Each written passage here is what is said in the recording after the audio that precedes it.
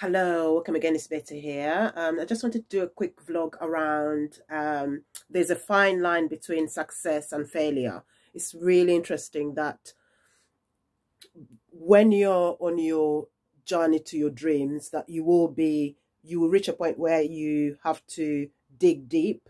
Um, like you will get things that will go in your way.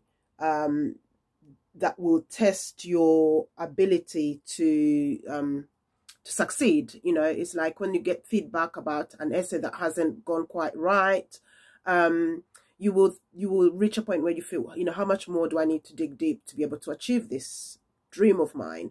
Um, however, the fine line is to not take feedback as as um, in a negative way. You have to take feedback in a constructive way and say, you know, what can I learn from this feedback? And push myself push myself that bit more farther. Um, and I think that is the fine line between success and failure is to take feedback in a constructive way and not give up.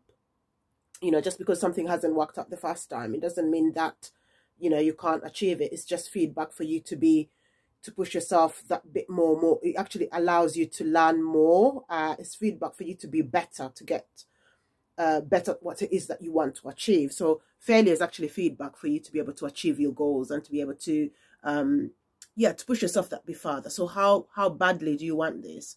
Um, that is the I think that is the key for me. Um, is that before you succeed, you will go through that um, that push, that final push of of of, of the universe, uh, God, whoever you believe in, is going to be um, testing you your your strength is is in in your ability to achieve whatever it is you want. You know you have to have that commitment to be able to to achieve your goal. So take feedback in a constructive way. Um so failure is not there's no such thing as failure. It's actually you learning from feedback and improving yourself actually allows you to do things better. So I've got to put in the time this weekend, this bank holiday weekend, to finish off my work. I've just got one more assignment to go um, yes, so yeah, I look forward to connecting with you. I can't wait to share what I've learned with you.